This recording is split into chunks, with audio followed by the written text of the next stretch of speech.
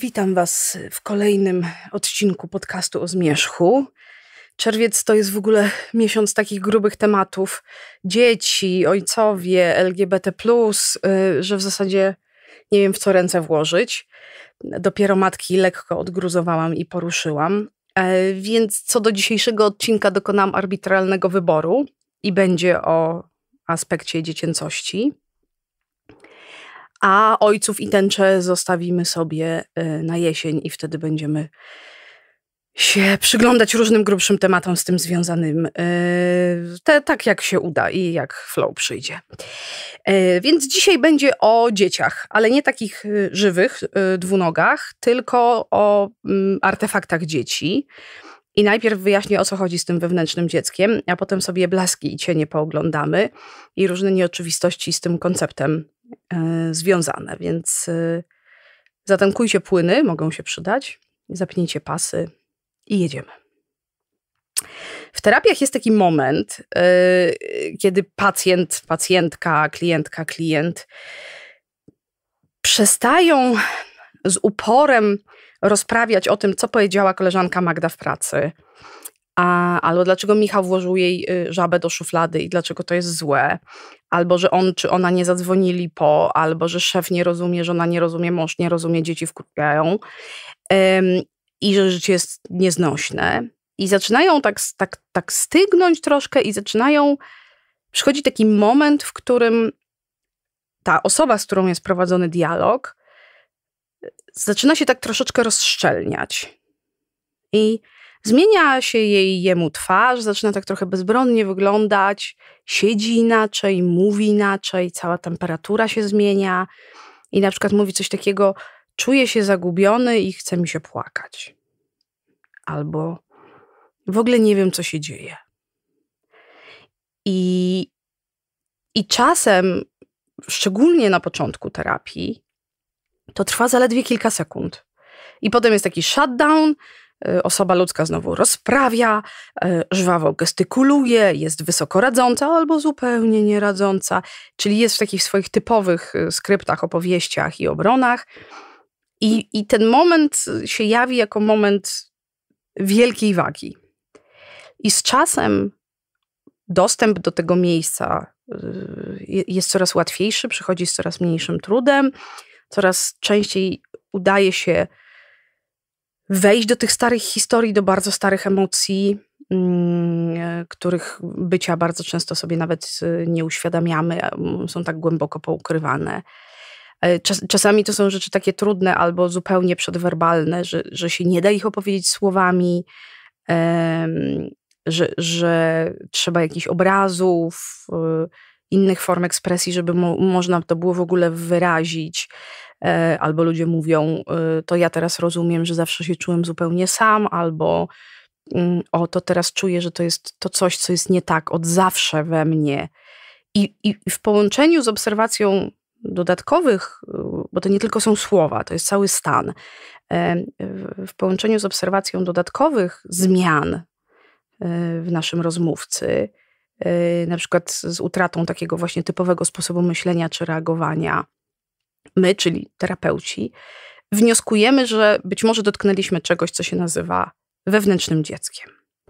I to jest, to jest ten moment, w którym butelka szampana uderza o burty transatlantyku. I, I to jest moment, od którego w zasadzie startuje taka gruba, brudna, najlepsza terapeutyczna robota. Gruba, bo sięgająca takich najbardziej fundamentalnych kwestii, a brudna, bo tam rzadko są e, muzyka i cwiety, najczęściej jest krew, e, pot e, i łzy. I od razu zastrzegam, że są modalności psychoterapeutyczne, które nie uwzględniają pomysłu na wewnętrzne dziecko, niczego to im nie, um, nie ujmuje. Po prostu różne formy terapii pracują w różny sposób. Ja operuję w tych, które lubią ten koncept i posługują się takimi figurami. I dzisiaj będę to streszczać, będę się starała Wam to przybliżyć, y, posługując się, jak dla mnie, bardzo czytelnym opisem, który y, zaczerpnęłam z terapii schematu. Co to jest to wewnętrzne dziecko? Po pierwsze, to jest metafora. Nie macie w środku małego y, człowieczka, który robi rzeczy w miejscach. Dla nowoczesnej psychologii wewnętrzne dziecko jest takim dziecięcym, czyli niedorosłym aspektem psychiki człowieka. Można powiedzieć, że to jest taki zespół doświadczeń, wspomnień, także traum, których dziecko, czyli wy jako dziecko, e, zaznało, zaznało, zaznało, nim stało się dorosłym, przynajmniej wiekowo. I dochodzą do, do, do, do tej metafory także y, y, takie schematy zachowań, y, które się wówczas na podstawie bardzo różnych rzeczy wytworzyły i które działają w nas do dzisiaj i powodują różne rzeczy. Czyli to jest taka subosobowość w ramach naszej psychiki, która pozwala nam zrozumieć przeszłość, bo jest kapsułą danych y, y, z przeszłości. Bardzo różnych danych, czasami fragmentarycznych, czasami układających się w jakąś wspólną, spójną opowieść, y, które, to jest bardzo ważne, wcale nie są tylko świadome. To znaczy, te dane to są też stany zapisane w ciele, to są też takie treści utrwalone w nieświadomości, więc to nie jest tylko oczywiste to, co pamiętamy. No i skąd się cały pomysł na wewnętrzne dziecko wziął? No oczywiście wziął się od Junga, da. Konkretnie od niego się zaczęło takie myślenie o ludzkiej psychice, e, żeby rozpoznawać w niej różne archetypy, właśnie takie subsfery. Na przykład mamy anime, czyli żeński pierwiastek psychiczny w mężczyźnie, a dla kobiet jest to animus. To jest w ogóle ciekawe, bo mm, mam nadzieję, że kiedyś jungizm wypracuje y, takie intelektualne koncepty, które pomogą y, objąć doświadczenie osób y, transpłciowych albo niebinarnych w zakresie tych aspektów męskich i żeńskich, ale to dygresja jest absolutnie nieistotna dla całości. No ale mamy też wewnętrzne dziecko. Jung nazwał je bardzo precyzyjnie Divine Inner Child, co oznacza wewnętrzne boskie dziecko. I to jest bardzo ważne, bo bo ono jest boskie w znaczeniu takim zupełnie transcendentnym. Od niego startuje self człowieka. Jakby za, zaczyna się wszystko. E, ono jest uosobieniem niewinności, e, życia przed krzywdą, kontaktu z takimi duchowymi aspektami i pięknem w świecie. I, i dla Junga to, to wewnętrzne boskie dziecko to jest jeden z archetypów, który jest bardzo ważny, jest takim kamieniem milowym na drodze do indywiduacji, czyli do, do osiągnięcia takiej pełni wewnętrznej. No i, i ono jest właśnie reprezentantem kształt, rozwijającej się, kształtującej się osobowości i jeszcze wiele dobrego i złego e, przed tym dzieckiem, nim ta e, mandala się podomyka i nim tam się wydarzą rzeczy w miejscach. No niestety po Jungu zaczęła się niezła taka intelektualna chutzpa, e, bo jeszcze analiza transakcyjna jakąś logikę dynamik psychicznych uszanowała, korzystając z tego konceptu wewnętrznego dziecka. I, i, jakoś to roztropnie rozegrała, ale potem to w zasadzie kto mógł, to się chwytał e, te, tej, tego symbolu, tego konceptu i rozwijał po swojemu, nie zawsze domyślając rzeczy do końca. No w takim przekonaniu, że w zasadzie hulaj dusza, wszystko wolno. E, I na przykład sławne były prace y, Vivian i Artura Janow, którzy w latach 70. wydali takie znaczące wtedy książki y, o psychologii y, dziecięcej, znaczy w ogóle o jakby cofaniu się do tych swoich dziecięcych etapów e, i o pracy nad wewnętrznym dzieckiem. To się nazywało Pierwotny Krzyk i Czujące Dziecko. E, ale też na przykład bardzo znany amerykański psycholog John Bradshaw no, z jednej strony spopularyzował ten koncept, a z drugiej strony y, przyczynił się do jego uproszczenia i spłaszczenia i zrobienia z niego takiego, takiej naklejki na dropsach. I, i, i dzisiaj y, wrzucenie Inner Child w YouTube'a skutkuje milionem medytacji do pracy z wewnętrznym dzieckiem. O bardzo różnej jakości są te medytacje. I można kupować specjalne rzeczy, które robią rzeczy, co to mają nam pomóc robić rzeczy i w ogóle poszaleć jak dzik w żołędziach, żeby tylko tym wewnętrznym dzieciakiem e, się pozajmować. I, I to jest tak, że archetyp cudownego dziecka, boskiego dziecka, ma w sobie nieustająco wielką moc, jest potężny i na przykład znana nam historia y, narodzin Jeszuły z Nazaretu ciągle działa.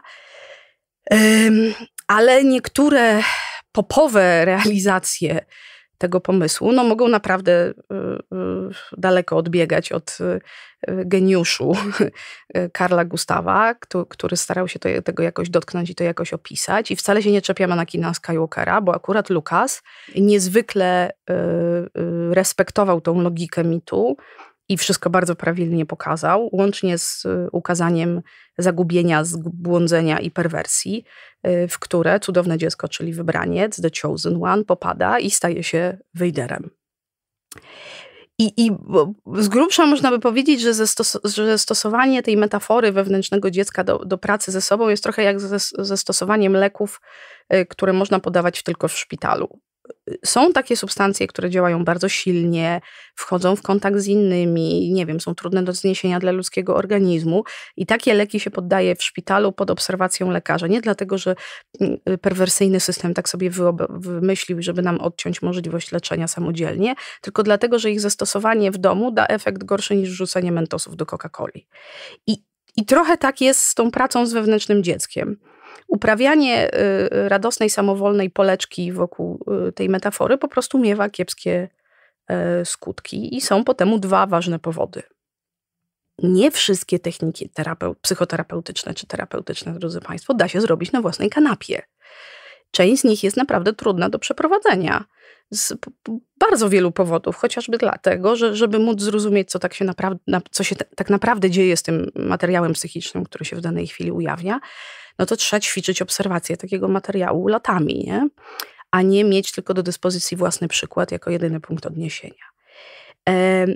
I, i co, co, gorsze, część jest niemożliwa do za, zaaplikowania na samym samej sobie, bo z wewnętrznym dzieckiem to jest taki moment, w którym potrzebujecie jednocześnie zewnętrznej instancji, żeby siebie obserwować, jak rzeczy się dzieją, i w tej samej chwili być zanurzona albo zanurzony w głębokim doświadczeniu, które do tego cofa was w dawne dzieje. I to nie jest jednocześnie posiadanie tych dwóch pozycji, pierwszej pozycji percepcyjnej i drugiej pozycji percepcyjnej wobec siebie, no nie takie proste bez zaawansowanego treningu nie jest i jak to pięknie ujmował bohater rejsu, nie można być jednocześnie twórcą i tworzywem. I, I ten regres do, do, do dawnych emocji, takie nieudawane przeżywanie tych rzeczy, które były naszym doświadczeniem bardzo dawno temu, e, u większości osób po prostu wyklucza jednoczesne obserwowanie siebie dorosłym okiem. Bo jak się pojawia to dorosłe oko, no to się pojawia jakiś rodzaj krytyki, umniejszania, takiego nad czym się pieścisz, inni mieli gorzej, tego typu historii, więc to przeżywanie jako dziecko natychmiast się cofa. E, I w ogóle nie dochodzi do takiego, e, takiego etapu, w którym można to sobie wszystko obejrzeć w pełnym planie z tą dziecięcą modalnością i to z tą dorosłą modalnością, czyli zacząć wyciągać wnioski trochę jak psychoterapeuta, czy analityk, czy terapeuta.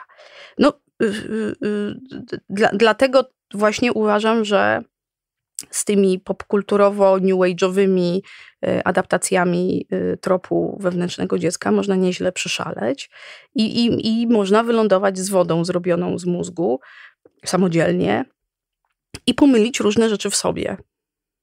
Można na przykład pomylić świadomość własnych potrzeb z roszczeniowością i zachłannością. Można pomylić yy, wrażliwość z narcystycznym zranieniem. Yy, można pomylić prawo do reparacji, sprawiedliwego traktowania yy, z usprawiedliwianiem odwetów i resentymentem można pomylić y, czystą słodzy, słodycz takiego niewinnego dzieciaka ze śmiertelnie groźną naiwnością, która w tak zwanym prawdziwym świecie wysta wystawia nas na liczne niebezpieczeństwa. I można w tym stanie po prostu utknąć, co w sumie jest bardzo niebezpieczne. I to naprawdę nie jest tak, że jak już macie kontakt ze swoim wewnętrznym dzieckiem, to już wiecie wszystko i wszystko jaśnieje knajpa w dniu wypłaty, bo to dotknęliście grala. Nie. Potrzebujecie widzieć wszystkie wewnętrzne dzieci i dzieciory oraz móc zawołać do nich rodzica, żeby się nimi opiekował. I my dzieci idealizujemy. I idealizujemy cechy związane z byciem mm, dzieckiem aktualnie dla naszej kultury prawdziwa jest taka wiara w e, niezwykły potencjał dziecka. I z jednej strony to jest bardzo dobrze i to jest bardzo ważne, bo przez wieki dzieci były tak niezauważane i tak super źle traktowane, że cała normalizacja procesu ich wychowania to jest absolutna konieczność. Przypominam, że y, takie psychologiczne refleksje nad tym, że dzieci coś czują i coś to może im w przyszłości robić, że na przykład były bite, to one mają nieco ponad 100 lat, więc naprawdę są bardzo świeże. Ale z drugiej strony, żeśmy nieco pojechali, y, przypisując dziecięcości, czyli y, przypisując do stanu bycia dzieckiem, właściwości, których tam po prostu nie ma. Dziecko jest małym człowiekiem, ma swoje instynkty łącznie z agresją, jest oczywiście bardzo delikatne, biorąc pod uwagę podatność i kruchość psychiczną, ale jednocześnie jest nieprawdopodobnie wyporne. Może się cechować wzniosłością bez zadęcia i w ogóle takim yy, pięknem, a może się cechować brutalnością i okrucieństwem chwilę potem. Yy, dzieci nie mają ponadnaturalnych, yy, boskich właściwości tylko dlatego, że są dziećmi. Oczywiście dużo łatwiej wchodzą w kontakt z ważnymi rzeczami, takimi jak, nie wiem, natura, uczucia, tworzenie, ale są też egotyczne i super skoncentrowane na sobie i na, na, na, na własnej przyjemności i przetrwaniu. I, I robienie, przebóstwianie konceptu dziecka, które czasem teraz uprawiamy, idealizacja więcej mówi o nas jako dorosłych i o naszych lękach i, i potrzebach niż o samych dzieciach.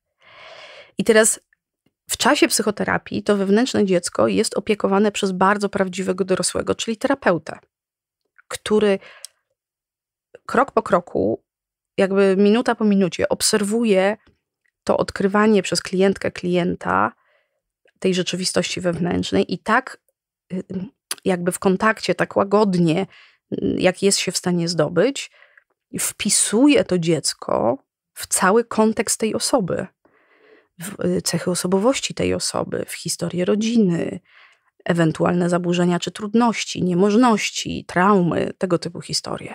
Czyli ono nie jest takim abstrakcyjnym, z niczym niepowiązanym, idealnym bytem, tylko zaczyna być opisywane w szerszym kontekście, więc się urealnia.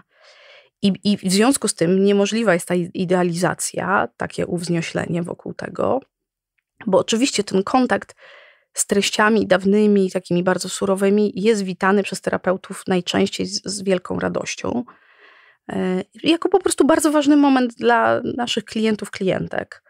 E, ale tam zaraz po przecinku jest rozpoczęcie nowego etapu, czy też myślenie o nowym etapie, jakim jest przywołanie bardzo stanowczego do, wewnętrznego dorosłego, który w przyszłości będzie ten cyrk prowadził. I na przykład w terapii schematów, do której się tutaj dzisiaj odnoszę, mówi się y, o trybach dziecięcych i, i, i po przecinku dodaje e, właśnie to, to, że w jakimś momencie będzie potrzebny dorosły, żeby na to spojrzeć i się tym wszystkim opiekować i to prowadzić i w ogóle stawiać granice. Ale mówi się też, że w ramach tych trybów dziecięcych nie wszystkie y, dzieci nasze wewnętrzne są słodziaczkami. Niektóre są dosyć paskudnymi dzieciorami, które tam mają swoje właściwości. E, bo kiedy się znajdziemy w tym trybie dziecięcym, gdzie się przeniesiemy w czasie, czasami to jest nawet tak, że zmienia się fizyczne samopoczucie, że zaczyna nam doskwierać jakiś rodzaj fizycznego bólu, który jest związany z bólem psychicznym doświadczonym w dzieciństwie albo fizycznym. I, i na fotelu naprzeciwko siedzi dorosły, ale mówi przez niego dziecko i ono opowiada o przeszłości, i opowiada o porzuceniu, o o braku adekwatnej opieki, o krzywdach, o traumach. I to jest hardcore. To jest grzebanie się w najgorszych rzeczach, jakie was spotkały, wtedy, kiedy byliście bezbronni mm, i zależni. O, o, o super rozdzierających wspomnieniach, które, tak jak mówiłam, czasami są niewyrażalne słowami. I, i, I, czasami to ściganie to jest takie nieznośne ściganie czegoś, co z trudnością da się uchwycić. I boli ciało, i boli wszystko w środku, i boli zaprzeczanie temu, że boli, i wypieranie boli, i konfrontacja boli. W ogóle to jest bardzo trudne do zniesienia, i terapeuta jest po to, żeby pomóc wytrwać w tym spotkaniu. Żebyśmy natychmiast z tego nie zwiali, bo my generalnie całe życie przed tym uciekamy. I pomaga rozpoznać, co się pokazało, co to może być w tym przypadku ty, ty, tych bolesnych, rozdzierających doświadczeń, no to jest najczęściej wrażliwe wewnętrzne dziecko. I, I potem bardzo ważne jest uzyskanie wsparcia, które pomaga, pomaga przeżyć tą pustkę, izolację i ból, żeby można było bezpiecznie wypełznąć na brzeg.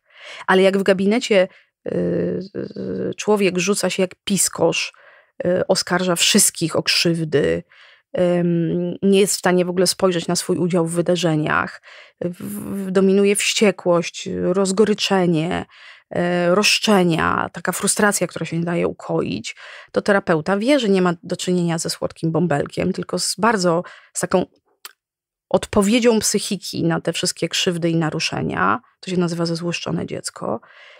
I, i, i z, y, pomaga dojść z tym do ładu, i odnaleźć w tym wszystkim granice, autonomię, w ogóle jakieś wewnętrzne prowadzenie.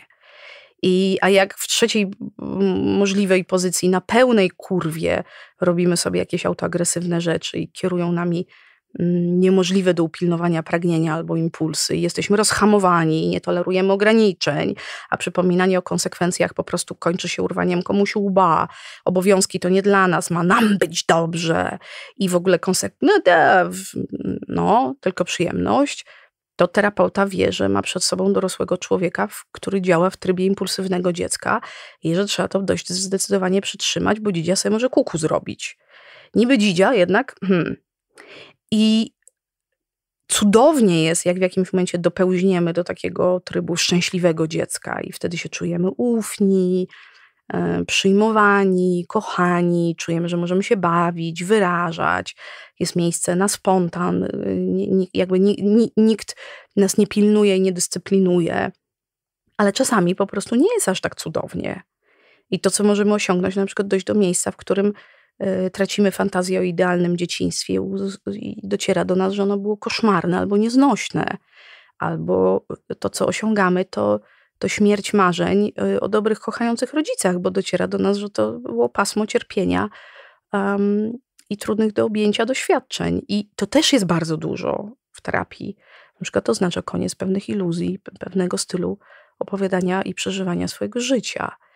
I ponieważ bardzo bardzo wiele osób ma trudne, e, niedomknięte doświadczenia, do których brak im świadomego dostępu, takie, które w dorosłości spadają nam na głowy, powodując kłopoty, e, czyli dzieje się coś, co nas przerasta. Skala naszej reakcji jest niewspółmierna do zdarzeń, których doświadczamy. Nie rozumiemy siebie, jak to się dzieje, dlaczego nas tak niesie, jak w ogóle dlaczego się tu znaleźliśmy, znalazłyśmy w tym miejscu.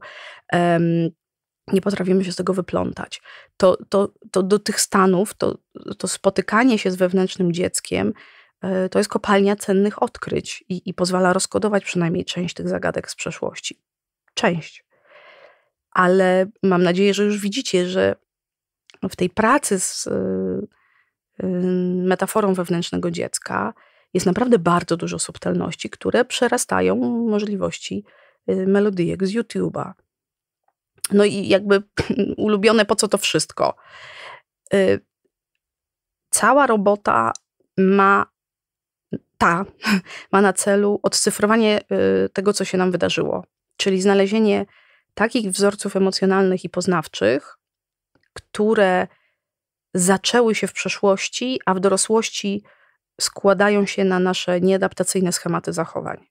Czyli odpowiedzenie sobie na pytanie, skąd się wzięło to wszystko, co w niezrozumiały sposób utrudnia nam życie. Komplikuje związki, powoduje nagłe konflikty, destrukcyjne zachowania itd. Tak I to cofnięcie się w czasie to jest bardzo realne dotknięcie momentu, w którym dany schemat zachowania się właściwy dla nas, czy dane schematy się kształtowały.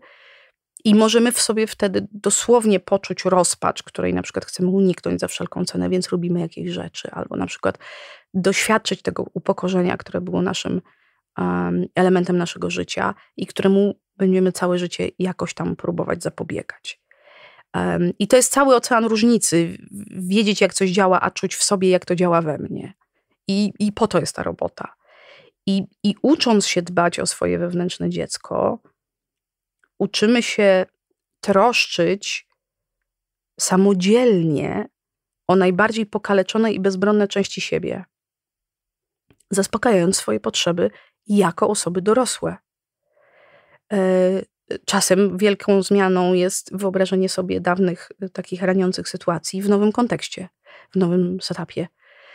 Czyli na przykład wyobrażenie sobie tego, że rodzic albo jakiś dorosły który zachował się wobec nas niewłaściwie, mógł zachować się inaczej i przeżycie tego alternatywnego skryptu.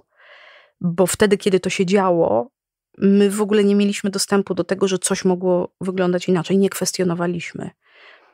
I poszerzenie sobie perspektywy o nowe doświadczenie potrafi y, wywrócić rzeczy do góry nogami.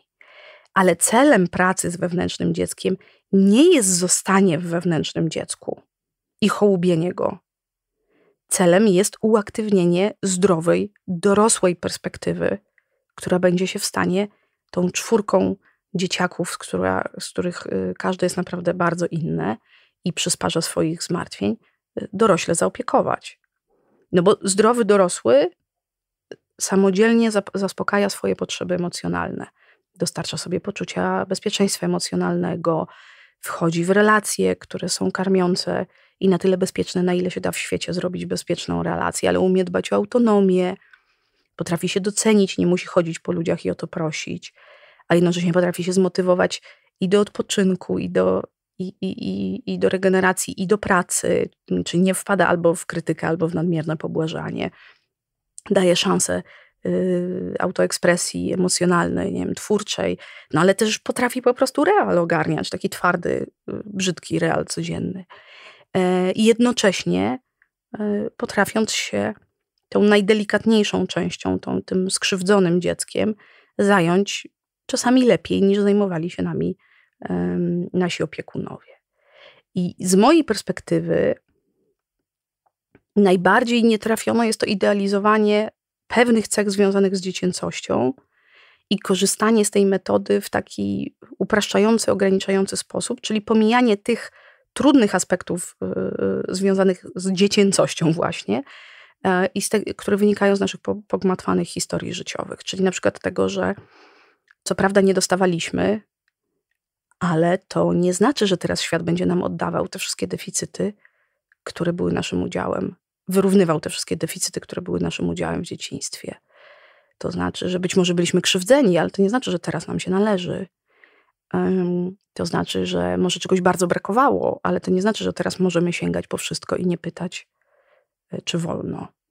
I, i to jest w ogóle tak, że jak ktoś w dzieciństwie był nie wiem, zaniedbanym, opuszczonym dzieckiem i, i nawet może mieć w środku to wrażliwe, y, skrzywdzone dziecko gdzieś ukryte, ale z wierzchu może ono być obrośnięte bardzo twardym i, i bezwzględnym dubkiem płci dowolnej. Um, i, i, I czyny takiej osoby na co dzień nie będą słodkie i niewinne tylko dlatego, że w środku jest jakieś wewnętrzne skrzywdzone dziecko, i, i mm, utożsamianie, tak jak mówię, utożsamianie przeżywania tego wewnętrznego dziecka z, z, automatyczną dobrocią, robieniem dobrych rzeczy, byciem dobrą osobą, mm, jest trochę ślepym zaułkiem.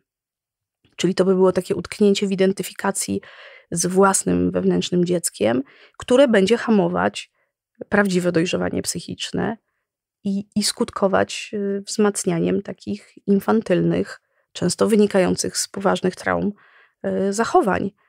I może się okazać, że wyhoduje dorosłego, który będzie w istocie dużym bachorem. No a dużym, duży, bycie dużym bachorem to nie jest do końca spoko sytuacja. Więc e, podgarniając e, na Dzień Dziecka opóźniony, dbajcie o swoje wewnętrzne dzieci z perspektywy dorosłego, a jak to jest jakieś trudne, to raczej Y, zaproście do współpracy kogoś, kto y, zna się na dbaniu o, wewnętrz, o wewnętrzne dzieci, wszystkie, y, i te paskudne, i te biedniutkie, i te takie zagubione i w ogóle. I, i, i róbcie to świadomie, nawet jeżeli w towarzystwie medytacji z YouTube'a, to rozumiejąc, że nie wszystko, co się wtedy obudzi, jest jeden do jednego do zaaplikowania w dorosłym świecie, że tam po drodze powinien być filtr, w postaci dorosłego, który mówi: OK, spoko, e, to czego ten maluch teraz potrzebuje, e, żeby powoli móc okrzepnąć, mniej się bać, mniej się złościć i móc wyjść do świata e, jako dorosły. I to jest mój mały prezent dla Was na Dzień Dziecka.